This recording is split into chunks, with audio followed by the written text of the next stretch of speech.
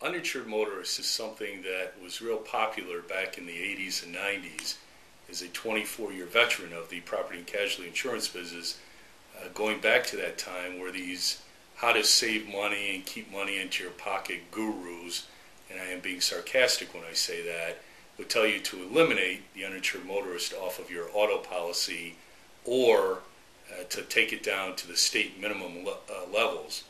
To get the highest level any consumer can buy, which is a half a million dollars, runs on average, including the, the uh, auto insurance is all based on where you live or territories and what have you. But if you live in, for example, in Ohio and a Toledo, a Cleveland, Columbus, that's going to cost you all of $100 per vehicle per year. And these get rich uh, or stay rich uh, gurus who are looking at lopping off, you know, a little bit here, a little bit there, are giving you absolutely positively horrible advice.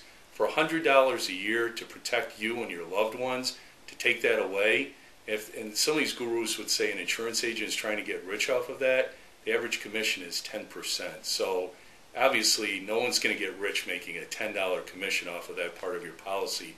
Whatever you do, definitely carry as high limits of liability and uninsured motorists, specifically the uninsured and underinsured motorists, to protect you, your family, and your loved ones.